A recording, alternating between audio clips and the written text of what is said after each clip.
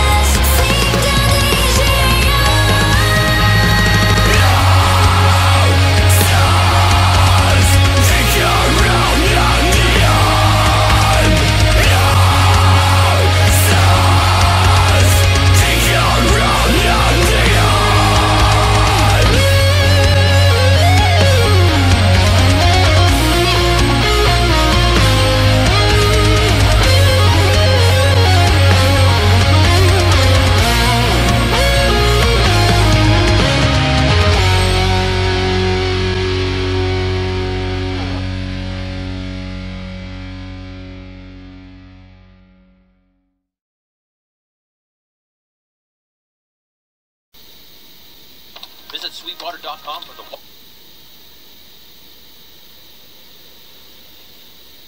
That was surprising. Um,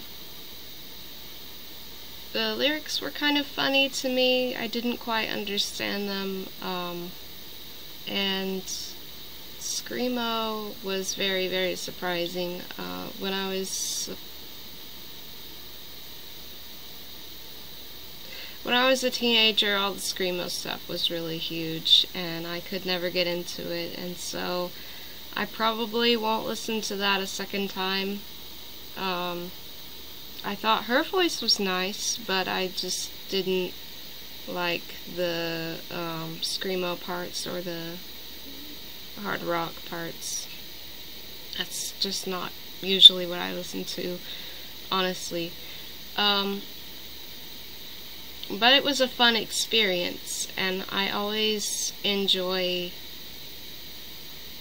sort of um, just experiencing new songs, and I like reacting to things. Even if it turns out I don't end up really liking something, um, it was still, it still gave me a